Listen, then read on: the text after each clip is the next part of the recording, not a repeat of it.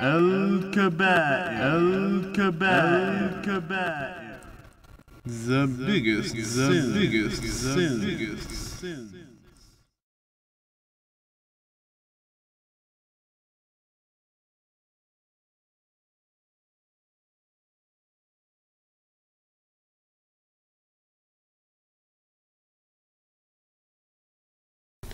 بسم الله والصلاة والسلام على رسول الله Assalamu alaikum dear brothers and sisters and we move forward in our kabir. Our kabira for today is so important that doing it might have an effect for all Muslims. We take our religion from two basic primary sources the Holy Quran, which is of course the word of Allah Almighty, and the words of our beloved Prophet Muhammad that we call Hadith. There is no doubt about the accuracy of the Holy Quran because Allah Himself promised to protect it as He said. إنا نحن نزلنا الذكر وإنا له لحافظون Indeed, it is we who sent down the Quran, indeed, we will be its guardian. But on the other hand, the hadith depends on the people who memorize it, as in their time. There were too few people who can write, and most of their narration was through memorizing the hadith. That is why it is so important to study the narrator and be sure that he is a trustful person. When the Prophet talks, Allah inspires to him what to say and how to act. When the Prophet speaks, his words are counted and are easily memorized. It is so meaningful and beneficial.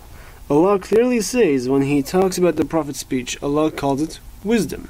كما أرسلنا فيكم رسولا منكم يتلو عليكم آياتنا ويزكيكم ويزكيكم ويعلمكم الكتاب والحكمة ويعلمكم ما لم تكونوا تعلمون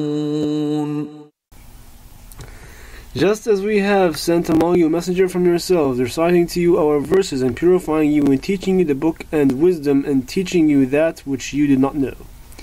And also in Surah Al-Imran, لقد من الله على المؤمنين إذ بعث فيهم رسولا من أنفسهم يتلو عليهم آياته ويزكيهم ويزكيهم ويعلمهم الكتاب والحكمة وإن كانوا من قبل لفي ضلال مبين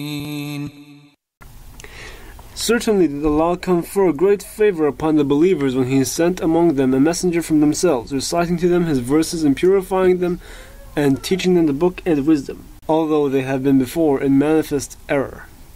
Some scholars, like Sahih Muslim and Sahih Bukhari, dedicated most of their life to check the narrators and be sure of the, the accuracy of the hadith before writing it down, as it is a big obligation for a Muslim ummah.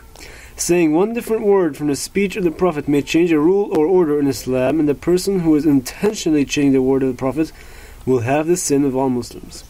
Look at the hadith. إن كذبا علي ليس ككذب على أحد فمن كذب علي متعمدا فليتبوأ مقعده من النار that the Prophet said, Indeed, a lie upon me is not like a lie upon anyone else, for whoever lies upon me intentionally, then he shall take his seat in the fire. And the Prophet ﷺ also said, اتقوا الحديث علي إلا ما علمتم فمن كذب علي متعمدا فليتبوأ موقعده من النار ومن قال في القرآن برؤية فليتبوأ مقعده من النار that beware of narrating from me except what I taught you. For whoever lies about me on purpose, then let him take his seat in the fire. And whoever says something about the Quran according to his own opinion, then also let him take his seat in the fire. It is not only the responsibility of the person who narrates the hadith, but also for the one who spreads it. You must be extra careful when you receive a message in the social media that has hadith which is strange to you or makes no sense. You must not send it back unless you search for it and be sure of its accuracy. The Prophet warns, من روى علي حديثا وهو يرى أنه كذب فهو أحد الكاذبين. That whoever narrates a hadith from me thinking it to be false, then he is one of the two liars. O Allah, teach us what benefits us, and help us distinguish between the right and the wrong, and keep us tight on the right path. Ameen. Wassalamu alaikum wa rahmatullahi wa barakatuh.